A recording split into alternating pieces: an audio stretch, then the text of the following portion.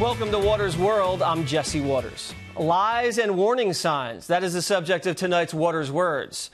By this point, everybody knows the details of the Parkland school shooting. But let's separate fact from fiction. Four big lies you've probably heard over the last few days. Number one, there have been 18 school shootings in 2018 alone. This has been repeated by Democrats on television and shared millions of times on social media. The statistic came from Bloomberg's anti gun group, but the statistic is bogus. The Washington Post calls the number flat out wrong. They were calculating things like accidental firearm discharges in school parking lots late at night while no students were present and no one was injured. Second lie the shooter, Nikolas Cruz, was a member of a white nationalist group in Florida and participated in paramilitary drills. This was based on some racist nuts comment looking for attention, but the media ran with it without fact checking. Police say there is no connection with the shooter and this white nationalist group. Line number three. How many times have you guys heard the these types of mass shootings only happen in America line? Let's look at the statistics. The deaths from mass shootings where over 15 people are killed are higher in Europe, in Africa, and India and Pakistan. Line number four. The shooting is President Trump's fault. Here's Jimmy Kimmel. You still haven't done anything about nothing. You've literally done nothing. Actually, you've done worse than nothing. You like to say this is a mental health issue, but one of your very first acts as president, Mr. Trump, was to actually roll back the regulations that were designed to keep firearms out of the hands of the mentally ill. You did that. Your party voted to repeal the mandates on coverage for mental health. So I agree this is a mental illness issue because if you don't think we need to do something about it, you're obviously mentally ill. Now that's propaganda. Three major news networks like ABC, CBS, and NBC pushing this same thing. That President Trump and the Republican Party made it easier for mentally ill people to buy guns. Why would they even do that? It doesn't even make sense because it's false. So let's say a 65 year old collects Social Security disability benefits and has someone else manage those benefits. The Obama administration wanted to prohibit that person from buying a gun because they didn't control their own finances.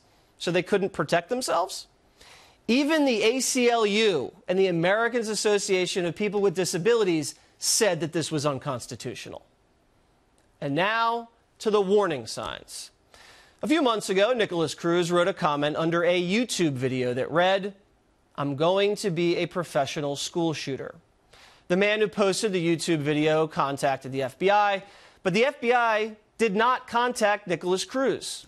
And we're going to have that tipster here in just a moment. In addition, on January 5th of this year, another tipster close to Cruz called the FBI tip line and reported that Cruz owned a gun, wanted to kill people, was exhibiting erratic behavior, was posting disturbing things on the internet, and warned that he may shoot up a school. And the FBI just released this statement.